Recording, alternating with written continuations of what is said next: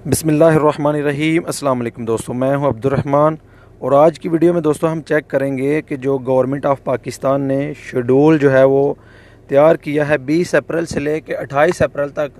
जो flight schedule तैयार किया गया है वर्ल्ड वाइड टू पाकिस्तान, जो कि पाकिस्तानी फंसे हुए हैं गैर मुल्कों में, उनको लाने के लिए जो शेड्यूल तैयार किया गया है, उसमें क्या इस हफ़्ते में बीस अप्रैल से लेकर अट्ठाईस अप्रैल तक कुछ सऊदी अरब से कोई फ़्लाइट है?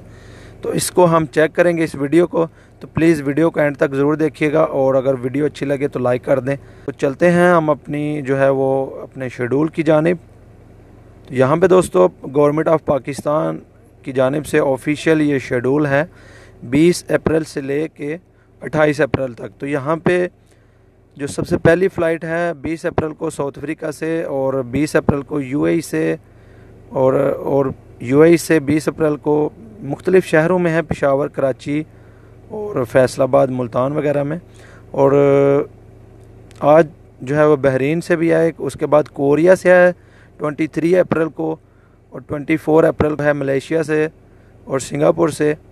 और यूके से है 24 अप्रैल को, यूएई से अगेन है 24 को लाहौर और कराची, पेशावर और मुल्तान के लिए। और फैसलाबाद उसके बाद 26 अप्रैल को है ऑस्ट्रेलिया से लाहौर और 28 अप्रैल को है यूएई से इस्लामाबाद, कराची कराची और मुल्तान। उसके बाद फैसलाबाद भी है और इसमें दोस्तों अगर आप देखें तो सऊदी अरब के लिए कोई भी फ़िलहाल फ़्लाइट नहीं है। तो आप ये बात जहन में रखें, अगर आप उम्र पे आए हुए हैं, आपने आपका खरूज जोदा लगा हुआ है तो भाई मेरे इस हफ़्ते में जो गवर्नमेंट ऑफ़ पाकिस्तान ने फ़्लाइट शेड्यूल जो है वो तैयार किया है। इसमें सऊदी अरब के हवाले से कोई भी फ़्लाइट नहीं है। तो नेक्स्ट जो भी ये करते हैं, अगर कोई फ़्लाइट की जो अपडेट यहाँ पे करते हैं तो मैं इंशाल्लाह आपके साथ शेयर करूँगा।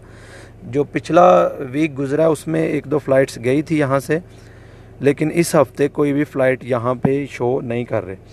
तो जो भी अपडेट होगी, मैं इंशाल्लाह आपके साथ शेयर करूँगा। तो अगर वीडियो अच्छी लगी हो तो लाइक कर दें। मिलते हैं इंशाल्लाह नेक्स्ट वीडियो में। दुआओं में याद रखिएगा। अल्लाह हाफिज़।